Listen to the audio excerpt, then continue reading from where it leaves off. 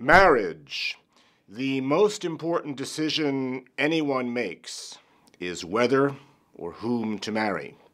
If you're thinking about taking this course, whether or not you marry, you've already thought about marriage, you're thinking about marriage now, or you will be thinking about marriage in the future.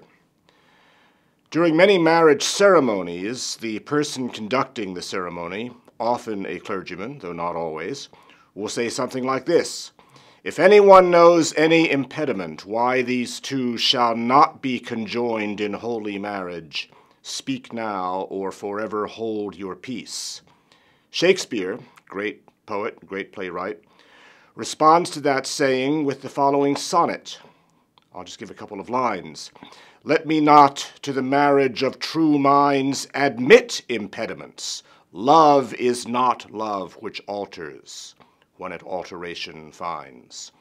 The foundation of marriage, Shakespeare is saying, is unchanging, unshakable love. But love isn't always foundation of marriage.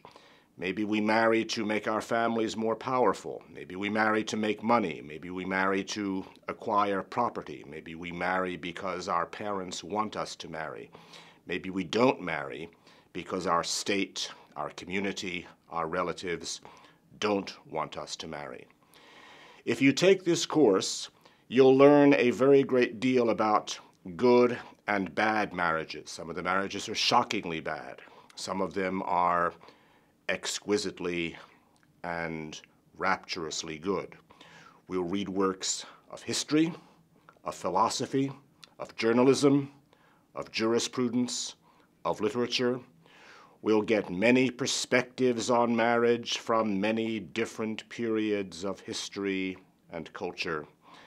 And we will know more at the end of this course, which, by the way, satisfies the discovery requirement for humanities.